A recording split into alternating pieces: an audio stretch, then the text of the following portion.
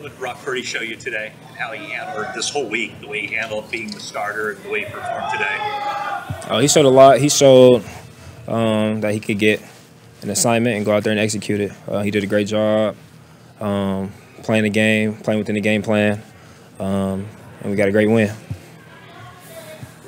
A times today, he was able to kind of evade pressure and keep a play alive. And uh, what, what's your mindset in terms of you know looking for a big play in those types of situations, knowing that he can keep things alive? Yeah, we had a couple of them in the past couple of weeks, just um, where he's moving, um, making somebody miss, and now it's a new play. Um, you just kind of find finding spots, but just knowing that he's gonna have the opportunity and give you an opportunity to continue to make plays um, on a scramble drill or just on a broken play because he can make guys miss on the edge and get outside and keep plays alive. So yeah.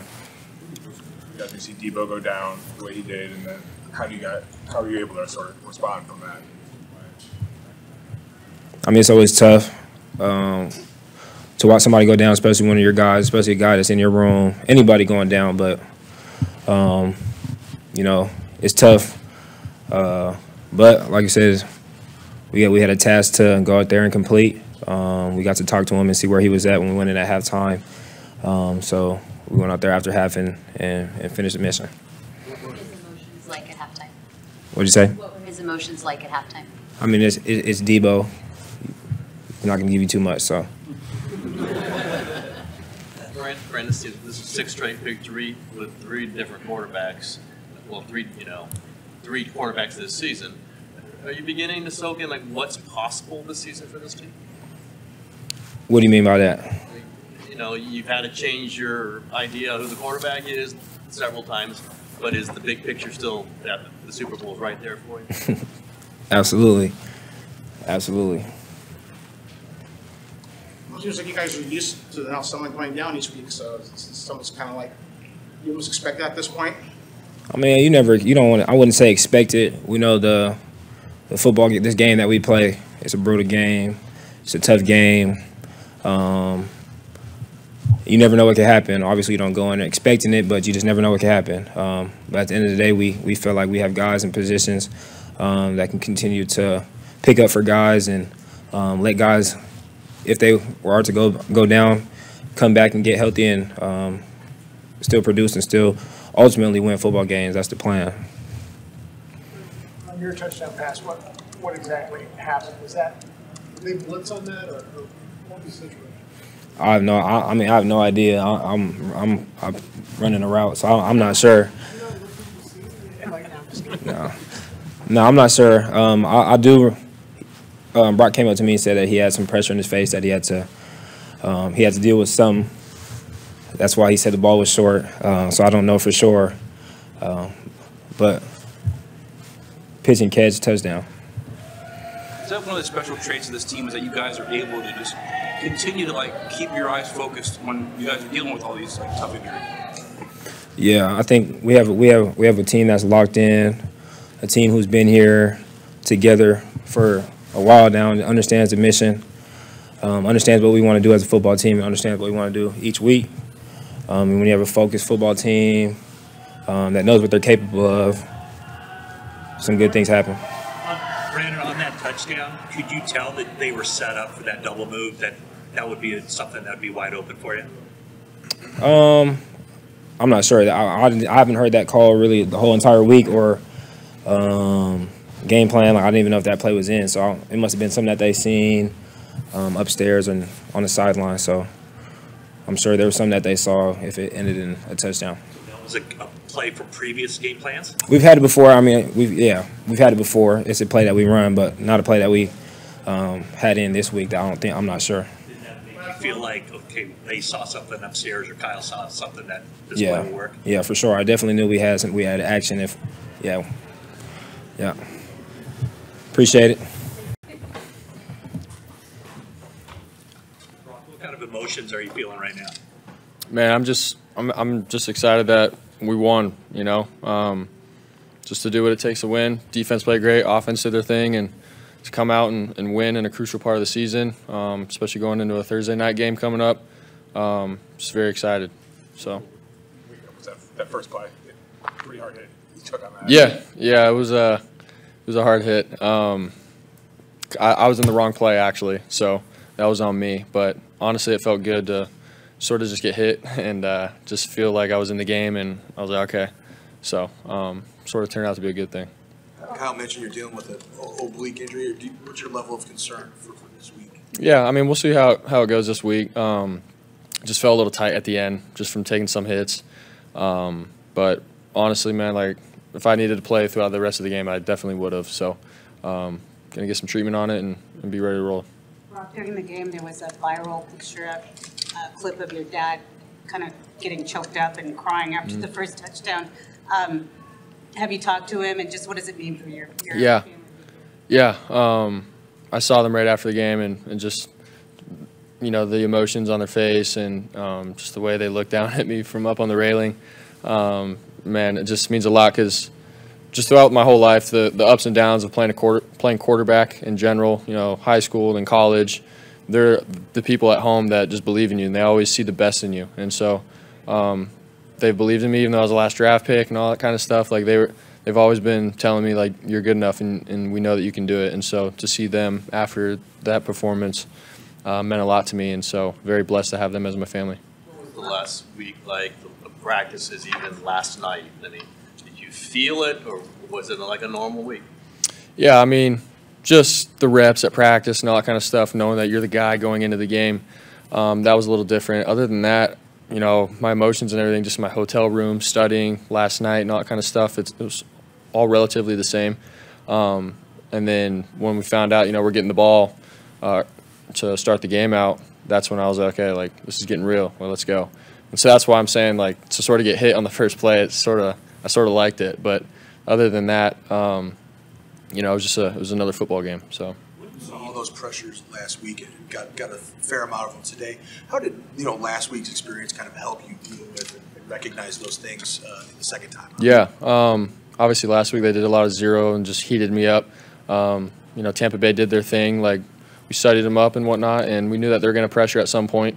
And um, so, honestly, to have a plan going into the game of what we're going to do, that helped a lot. Where last week it was, you know, when Jimmy was in, we didn't think Miami was going to heat him up as much.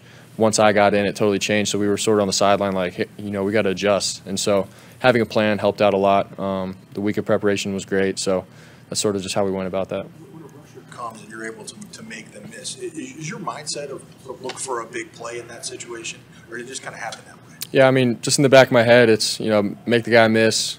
What's the play still? Where guy's going to be? And then if you know I'm on the run for good, like it's you know who's the first guy I can see open and, and whatnot. So definitely talk to our guys. Like I can scramble and do different things off schedule. So always look alive, kind of thing. So um, I thought the guys did well with that today. What makes Spencer Burford fit in so well with this offense and this team? Yeah, he's awesome. He's, um, I think, just athletically, you know, blessed and gifted. Um, he's got a great heart, and I say that because he's not like this guy with a big head or anything. He's very humble and he goes to work, and you could see like he's just got a motor and, and wants to win. And so, um, as a rookie, to step in and get thrown into the fire, you know, like he has all season, and he's done. A, I thought I thought he's done a great job with it. And so, um, we we've got a lot of older guys on the team that you know rally the young guys and keep them moving. So he's got a, a great support system in the offensive line room, and um, what he's done this year, I think, has been has been amazing. So he's a dog. Sorry, was there ever a point where it seemed a little surreal when you looked up at the scoreboard and then you looked and Tom Brady was on the other side of the, the field? Like, just, it was such a lopsided score? Um, I mean, honestly, for me, I just kept telling myself, dude, this thing ain't over with that guy on the other side of the field. You know, I just wanted to keep putting up points on the board, however many times we could, um, knowing, you know, this dude's made all these comeback, crazy comebacks in his career. So I didn't want that to happen in my first game, you know, as a starter. So, um, you know, the whole time I'm like doing my thing and stuff, not looking at the scoreboard, um, knowing the situations and stuff, but um, also respecting who's on the other side. Didn't, didn't want to give him a chance at the end. So. You need to be, you need to be humble. At Perry High School or Iowa State, did they ever chant your name? Purdy, Purdy, Purdy. There might have been some chance, but I think today was yeah that was that was wild to hear the whole stadium saying it like that. So um, man, we got some great fans out here, man. They they love this team and um, they're they're right behind us all the way through. So very thankful for him. So. We got a quick moment with, Brady there after the game. Uh, What was, what was that like for you? What, what do you have to say? Man, yeah, it was surreal. Just standing there, like, man, that's Tom Brady. You know, talking to guys and and dapping guys up and stuff. Um, so to him, to just to have respect for what I did today was pretty cool. I'm not gonna lie. So, you know, being a little kid watching that guy kill it throughout all these years, win Super Bowls, and then to be able to just even you know give him a high five or whatever at the end, I, I thought it was pretty cool. So, You guys good? Cool. Brandon? Thanks, guys. Kind of follow up on that, what, what was your impression of, of Brock being around him this week and then just seeing how he handled himself in the game? Yeah, he's an impressive guy. Um, it's fun to be around. You know, he's. Uh, I think to play quarterback in this league, you have to be very intelligent. I think that's one of the biggest things that I've learned playing in, you know, my sixth year now. And for a rookie to come in and process this offense and um, do everything by the book, but then add his own flair to it is very impressive. So uh, I'm excited for him. excited to keep playing with him, and um, you know, I, lo- I love that guy. He's he's you know, I've seen the work when I first got here. I think I said this earlier in the week, but he was he was the guy calling all the plays for me when I was walking through by myself trying to learn the offense. So it's a testament to him and the work that he's put in. How comfortable are you now with the, with the offense and, and your role being here? Feel great, you know, always learning, always learning, always t- trying to take strides forward, but definitely feel much better than I did. Said he, he changed to the wrong thing on the first play, but it actually kind of helped him after he took that hit uh, on, on the very first play. How did how did he settle in from from what you could tell in that moment?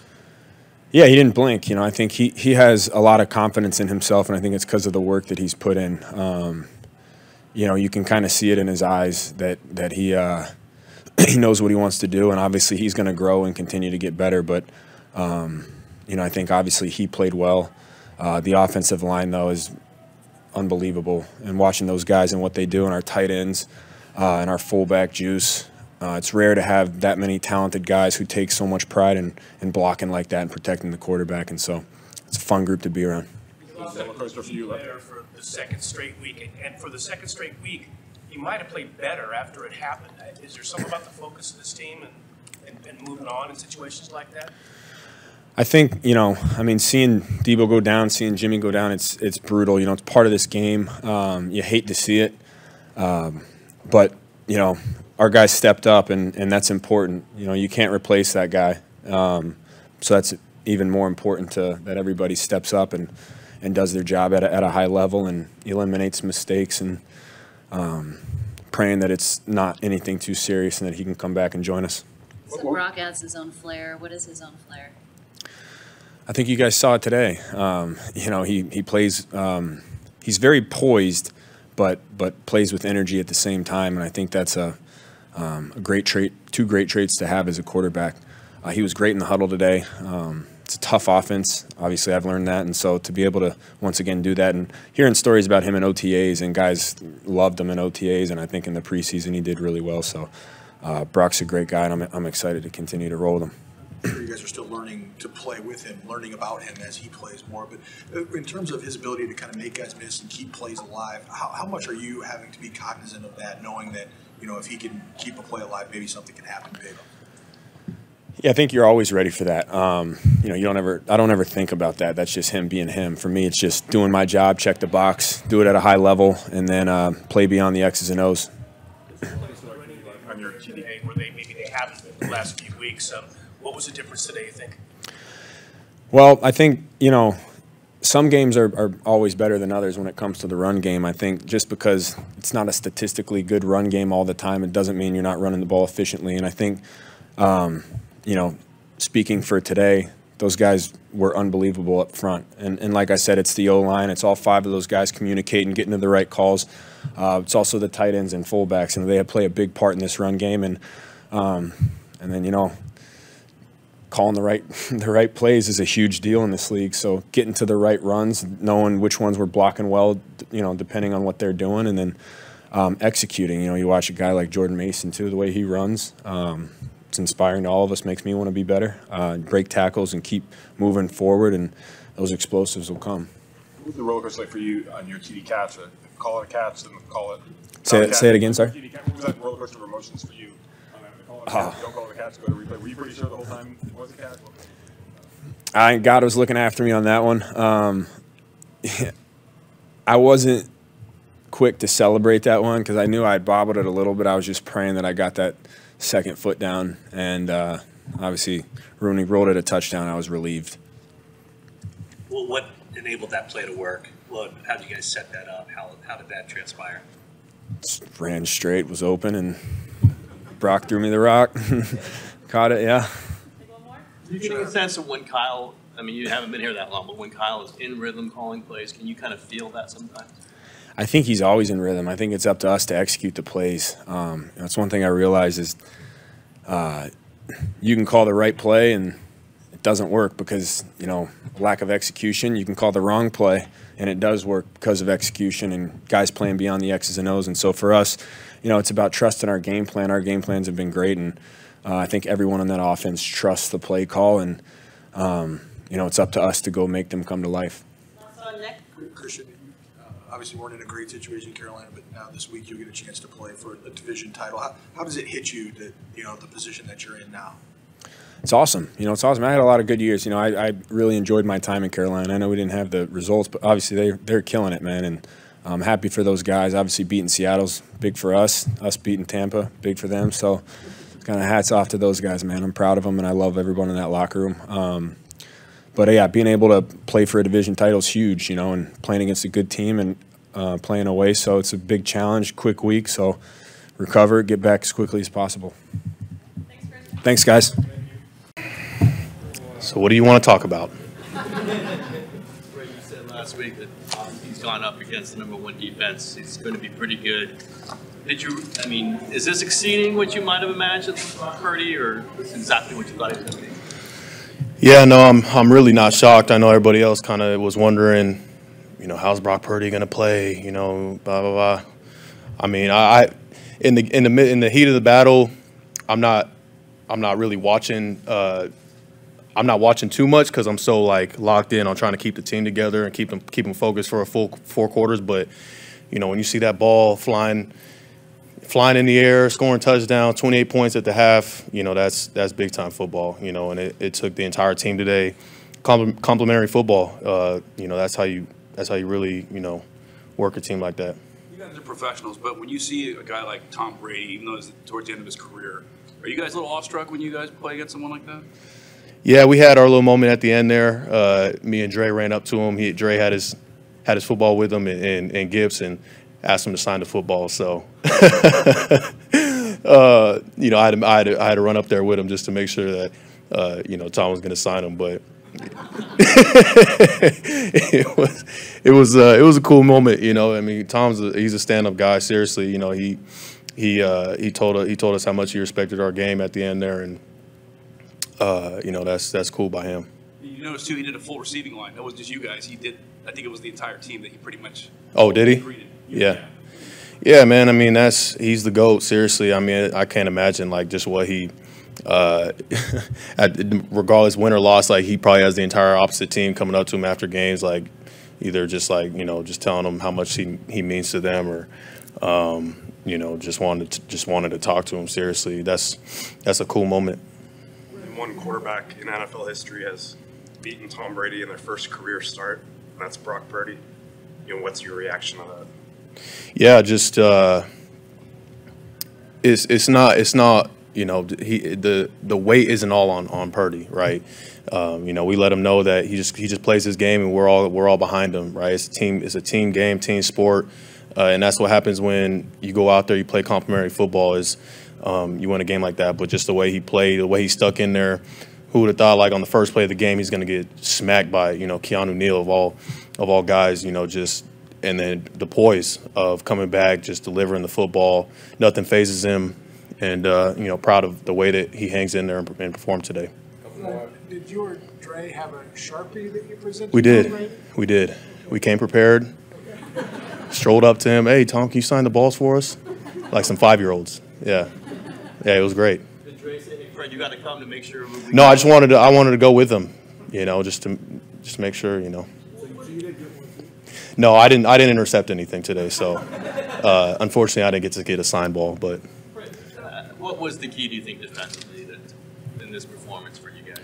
Yeah, I mean, we knew it was kind of going to be a chess match with him, and we knew that he gets the ball out quick, and that's why it was tough to uh, to get home on him. But just playing everything deep to short, and there was some long drives in there where, you know, they're dinking and dunking us down the field, and I still think that even that that touchdown that they had, we still could have stopped them right there. But it honestly was just resilience all the way through, like guys coming up making tackles, like every single time I'm I'm I'm deep running the paint. I'm seeing like you know he checks it down. All I see is Dre Greenlaw. Dre Greenlaw. Like you know I think he's playing at such a high level, and he's he's probably not getting talked about enough. The the type of um, the type of ball that he's playing this year. You know the way that people talk about me. I think they need to talk about him in the same in the same way. I know. I know what high level linebacker play looks like, and he's doing it. You know, so for anybody out there, like think about Pro Bowl votes and stuff like that, like he needs to be in that conversation. Went down and when when Deebo went down and it was obviously very emotional. You guys had to or went out there. And you had quite a defensive stand. How much do you have to make sure everybody's focused and gets their head back in the game? Yeah, you know, I'm in that moment. I'm I'm just thinking about Deebo. You know, I'm I'm sad for him. You know, it sucks to see one of your brothers go down like that, and obviously he knew uh, the the gravity of the situation, and, and um, you know, I want to be there for him. And once he once he's off, yeah, you gotta you gotta regain your composure after that, and you want to play for him. So that adds a, an extra level of motivation and uh, focus to the group. But yeah, I'm just I'm I'm I'm hurt for him. Are you going to go up Thursday up to Seattle with a chance to pretty much close out the division by beating those guys? Yeah, I mean, obviously there's there's a lot of implications to the game. I think just we really got to focus on just taking it as as the next game. you know, that's what's allowed us to win what five or six straight now is is is just trying to go one at a time. Um, one at a time, and, and this is this is no different. We got a short week. We got to make sure we recover really well, because division games are are intense, and especially against the the Seahawks. You know, every time I pl- we play them, it's always a battle um, and we're playing in their spot. It's gonna be it's gonna be rocking Thursday night football. Uh, we got to come ready to go. All right, thanks, man. Thanks, guys. Dre, were you, uh, it seemed a little bit ballsy to go up to Brady after the game to have him sign that ball. Um, Man. What, uh, what inspired you to do that? Man, the worst thing he could tell me is no. So, I mean, you know, I was always told if you don't ask, you'll never know. So, I mean, he, he's a good guy to be able to sign that ball after he didn't threw them picks. Like, that's big time. So, I mean, I appreciate him. He's the greatest. He's the greatest. He's a GOAT. So, I appreciate that. How did you approach him and what did he say to you? Yeah, I went like a little fan. I went like a little fan girl. You know, I tried to, gotta you know, soothe him up, make him feel better. So I was like, man, yeah, you're the greatest ever, man. You know, all that good stuff. But he is, he is. But I mean, you know, and he he was like, yeah, I appreciate it, man. Good job and stuff. And I was like, man, you ain't got to sign the balls. You know, I just, because I knew he looked like he was going through a lot. So I was like, man, you ain't got to sign the balls. And then Fred come over there. Fred's like, you get the ball, son? And I'm just like, yeah, man, now you got to sign these balls. And he signed them. So, I mean, it was, it was cool, man. Was- yeah, no doubt. You said during the week you were going to get one of those balls, right? Oh, yeah. Did you have a premonition? Like what, how did you know that? Man, sometimes it's just it's just coach say it's just instincts. You just got to know. You know, it's just sometimes if you want it bad enough, you'll get it. So I just uh, sometimes you got to just speak it, talk it, live it. Every day I thought about it. Every day I prayed for it, and I got it. So you just got to got to think about it. You, you know you want it so bad, but it comes at you and you have to kind of tip it up in the air a little bit. What's going Right. through your mind when the I'm thinking like stay on my feet, stay on my feet because once I tipped it, I was like, all right, maybe I can catch it the first time, but I didn't. So I tipped it up, and then when I tried to catch it the second time, I was trying to get back under my feet so I can take it off and run with it, but kind of was on my ankle a little bit and just couldn't get going. But I mean, it was it was just crazy. Another game and, a, and another day where a key player goes down. Are you guys oblivious to that at this point? You've had it so happen so many times. Uh, we're definitely not oblivious to it. Uh, just we hate to see guys go down. Like anytime we see, you know, somebody, any of our teammates go down. Like every every guy on the 53 man roster, like shit, even the practice squad, you know, they they get us better. So everybody really plays a big part in getting us better and making sure that we're ready to go out there on Sunday. So whenever you see a guy that's that's down, especially one of our leaders like Deebo, like man, you but sometimes, like in life, it's stuff you can't do about, you know, stuff you can't handle or change, stuff you can't, you know what I mean? You just got to go with the punches and uh, and just keep fighting. And that's what everybody on this team did. And that's just the type of team that we got. Everybody, you know, you get hit in the mouth, you got to just keep fighting. And I mean, we showed that last year going three and five, and now this year with with all the injuries, man, we just gonna keep rolling. You know, uh, we got faith in every guy that comes out, and that's you know that's on the offense or defensive side. Like we tell them, hey, once you once you part of it, like we got your back no matter what. You go play your ball, you go have fun, and we gonna you gonna have ten other guys right behind you, just ready to go fight for you. So Did you, have you looked at the stat sheet yet? I haven't. I don't. Fifteen, does that sound about right? I mean, did you feel like you were? Yeah, I feel like it. I feel like it. Yeah. Uh, yeah. I got tired of them dang check downs, and I wanted to get on them earlier, but my coach was like, "Stay back, stay back," and they, they threw one over my head earlier, so it was just I had to stay back and let him catch it and, and, and get the tackle. But yeah, no, I feel him. I was getting tired of him. Like we need to play some man. So yeah. You have 100 career tackles now for the first time this season in your career, and a full season, and you still have more games to go. What does that speak to you and your growth over the years to turn to basically an, an All-Pro, Pro Bowl linebacker? Uh, I'm just gonna keep getting better. Uh, I mean, good or bad, you know, whatever the case may be. Uh, just go into next off season and see what I got to work on and attack it. You know what I mean? And just keep getting better, keep getting better, and just stacking those days, and eventually you see the breakthrough out of it. Brock's locker is right by yours. You were saying during the week that you didn't really usually say much. You're not even sure if he's there all the time. um, what was your? I mean, you're, you're you're focused on your own defensive part. From what you were able to see, what did you think? Yeah, um, I mean, just you know, earlier in the week, you know, with him being the guy, uh, I didn't say too much to him, you know, uh, just because I never really say much to him anyway. So I didn't want to start talking to him now. So, but uh, but I always, you know, I some when I go in there, uh, usually wait about 10, 30 minutes, and then. You know, we kind of both just be locked in. I almost always see him in his iPad, and I got my thing going on. And normal about 20, 30 minutes after, you know, we just saw each other, we go, hey, what's up, man? You know what I mean? Just kind of kind of breaking in a little bit. But uh, I just know, just, you know, throughout this, uh, at the end of the week, you know, really today, I just looked at him and told him, say, hey, just play your ball, man. Like, no matter what you do, we got your back. We're going to fight for you. So just play your ball, go out there and have fun. It's just like just like when you was a kid, man. Like just go out there and, and, and leave it all out. And to be able to see him go out there and make the plays that he did and the confidence that he's playing with as a young guy, I mean, it's only he only gonna get better, you know. And he's just got to believe it and work at it every day, and he gonna see he gonna see the change and the growth that he's that he's putting in. Yeah, appreciate y'all.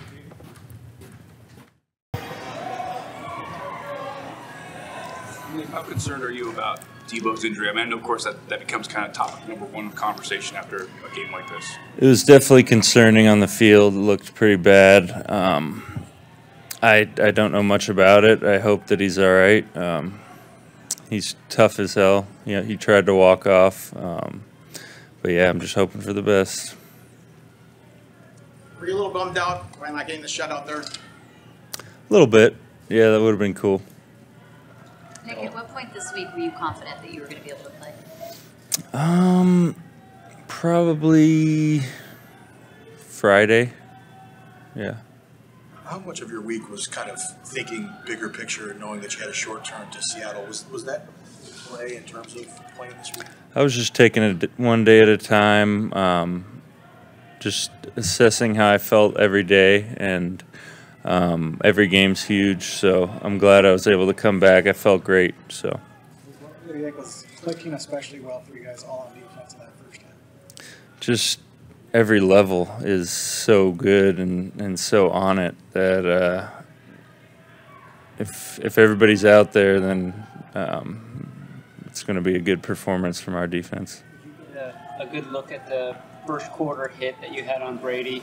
It was close to being a sack. Did you watch it on the video board at all? Uh, I didn't see it on the video board, but I saw a replay, and um, I thought he was down, but he just gets rid of it. How much does Arik Armstead being back change what you're able to do on the defensive line? It's huge, yeah. More depth, the better in there, and obviously Arik's as good as it gets. So, uh, just having him as a presence out there is huge. He's one of the unsung heroes on your defensive line. I don't know if he's un- un- unsung, but uh, yeah, yeah, I, you could say that for sure. Not many people or not enough people talk about him. Um, but I think what he did, what he's done throughout his career, and what he's done in the playoffs, and um, he's he's a legend here. Your thoughts on Purdy and his first NFL start? We got a quarterback. I, I had a lot of confidence in him, but obviously it's the NFL and you got to go perform, and, and he did that pretty darn good. Prior to his start, what impressed you most about him? Just his confidence. Um, yeah, I mean, he each time he scored, he waited. Uh, he waited on the sideline like usually they go back and look at the iPad or whatever, talk to their coaches. He waited for the extra point, um, and then congratulated all the linemen each time. So, I mean, kid's awesome. Uh, I saw the video of his dad crying, which was really cool. Couple more. Thank you.